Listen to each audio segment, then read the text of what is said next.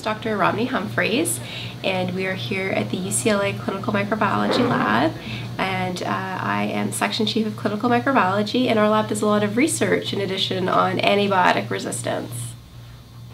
Our ability to treat bacterial infections is really dependent on our ability to have drugs, and we use antibiotics for bacteria um, that are effective. The challenge, though, is that bacteria are really wily little creatures and they develop resistance very easily to antibiotics. And so, right now, we're currently sort of at an age where we have no antibiotics to treat certain infections. And so, here at UCLA, we have had patients who are infected with bacteria and you know in the news you hear them called superbugs but essentially there's no antibiotics that are currently available that can treat these infections. And so our lab is interested in two things. We're interested in firstly how do the bacteria become resistant to these antibiotics?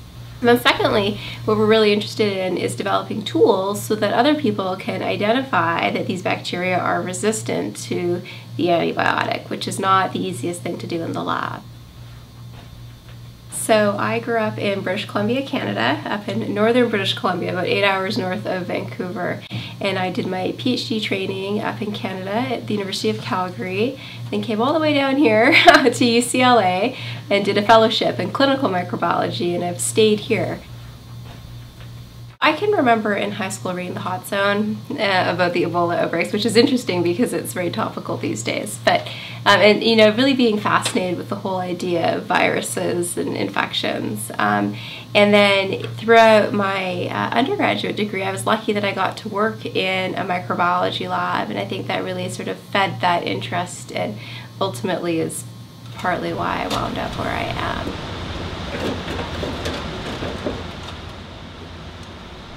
As I mentioned, we have two main focuses for the research we do here. One is trying to identify bacteria that have become resistant to antibiotics that are maybe new to the market.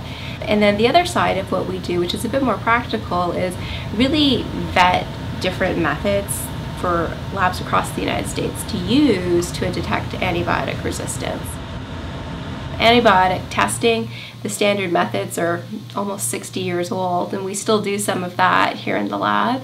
Uh, but then we also use really cutting edge stuff. Like these days, you can sequence the entire genome of a bacteria very quickly and very inexpensively, and so we use that often as a tool for something where it's completely new. We have no idea how the bacteria became resistant.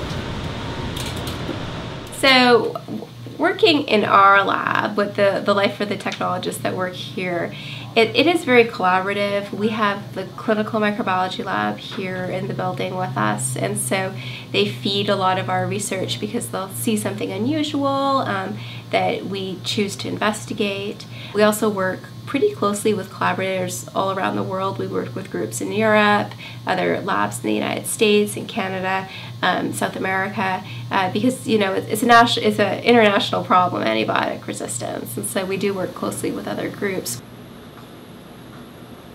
There are an awful lot of options available if people are interested in science than just becoming a doctor or even a NIH funded researcher. There's a you know a plethora of jobs out there if you are interested or think you might be interested in the sciences to explore. And then people who, who actually make the effort to come in and see, you know, if they're interested in something, I think are the people who wind up being successful because they get a taste for it in advance. I think it is pretty eye-opening for people to realize what goes on in these different labs across the country and, and what you could do um, and see if it's something you're interested in, if it's something that fits for you. But there's, you know, the spectrum's huge, so.